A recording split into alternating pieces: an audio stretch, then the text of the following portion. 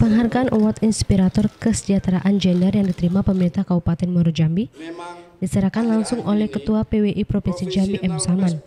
Penghargaan award ini berhasil diraih pemerintah Kabupaten Muaro Jambi karena Kabupaten Muaro Jambi satu-satunya kabupaten di Provinsi Jambi yang memiliki bupati wanita pertama di Provinsi Jambi. Atas penghargaan ini, Wakil Bupati Jambi Bambang Bayu Suseno sangat mengapresiasi dan menjadikan motivasi bagi pemerintah Kabupaten Muaro Jambi agar terus dapat memberikan yang terbaik bagi masyarakat Muaro Jambi. Wakil Bupati juga berpesan kepada seluruh insan pers agar terus bersinergi dengan pemerintah Kabupaten Muaro Jambi dan terus bersemangat dalam bekerja.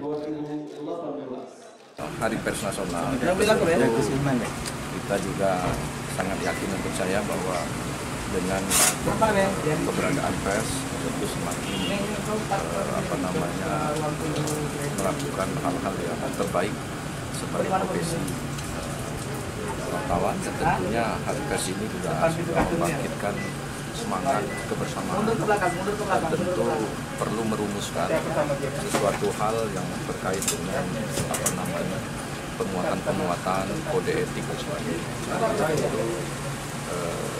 selamat Hari Pers Nasional kami dari Jambi. Dari Jambi, JK Santoso Tribrata TV, salam Tribrata.